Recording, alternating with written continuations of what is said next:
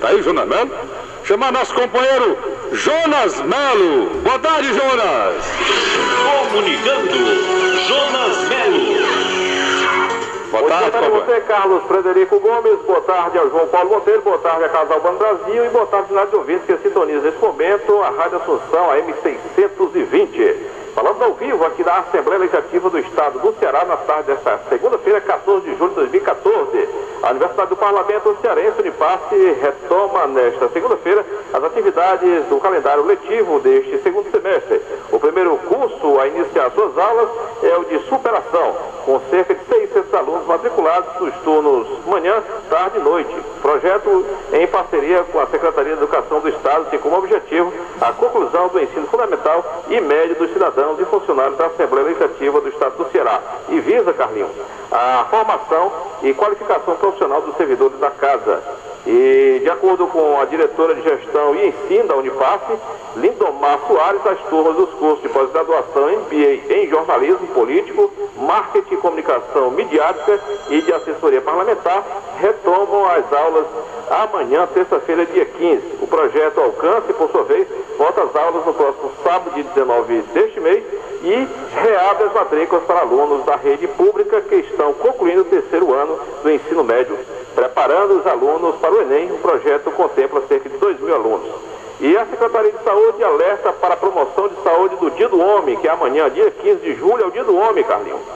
É, com alerta para a preservação e promoção da saúde do homem, a Secretaria da Saúde do Estado realiza mobilização no Shopping Benfica, na Avenida Carapinima 2200, amanhã, dia 15 de julho, com ações informativas e educativas sobre doenças sexualmente transmissíveis, distribuição de preservativos e combate ao tabagismo.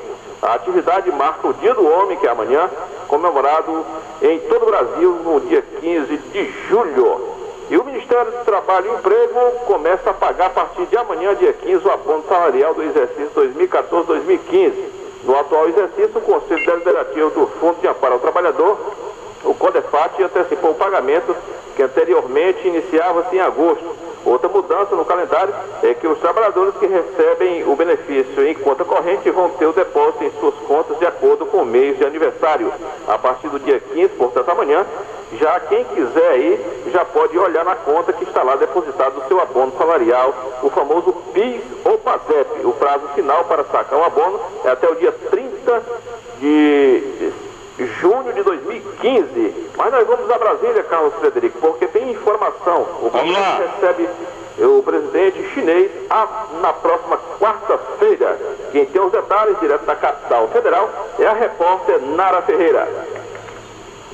O tratado firmado entre Brasil e China em 2004 deve ser incluído como pauta extra no plenário do Senado a tempo de ser aprovado para a visita do líder chinês a Brasília.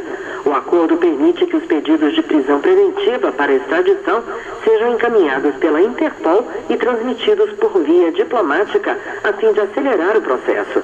Mas o Brasil poderá negar a extradição caso a punição na China seja a pena de morte. É que o tratado proíbe a medida se a pena ser contrariar os princípios do direito do país a dar a extradição. O líder chinês Xi Jinping está no Brasil para a sexta cúpula do BRICS, grupo que reúne Brasil, Rússia, Índia, China e África do Sul. O tema do encontro é crescimento inclusivo, soluções sustentáveis. Os países do bloco pretendem anunciar um fundo de contingência e a criação do Banco do BRICS para investimentos em infraestrutura. A China é o principal parceiro comercial do Brasil.